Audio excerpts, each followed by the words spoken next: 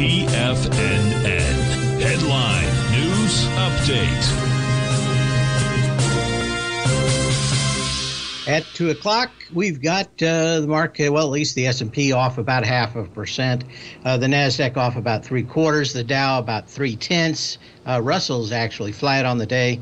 Uh, crude down about 1.45 percent, and gold down about a third of percent. Of course, this is on the heels of uh, the rail strike uh, being settled at least uh, legislatively today. And then, of course, uh, the big number this morning was non-farm payrolls, which increased by 263,000 for the month. Why the employment rate was uh, 3.7. The payroll numbers were well above the 200,000 estimate. Why the unemployment rate was just in line. And of course, this puts uh, a little heat on those people that I think uh, are uh, way too optimistic about next year. Um, when we look at a great deal of earnings, um, they're up a little or down a whole lot.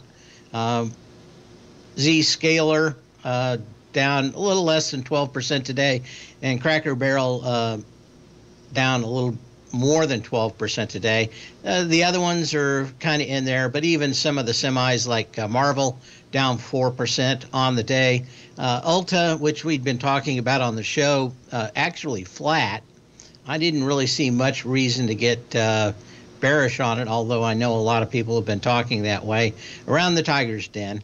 Uh, but that's kind of it. Now, the question is we've got two days after a big move, and generally you want to give uh, maybe three days of having uh, at least some kind of continuation uh, and not just seeing uh, that uh, Wednesday was a buying climax, only to see a pullback.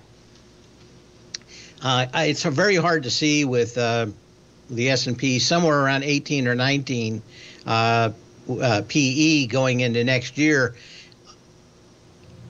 Something's got to give, and I don't think it's uh, I don't think it's the PE. I think it's the price. We'll be back with the show in just a few minutes.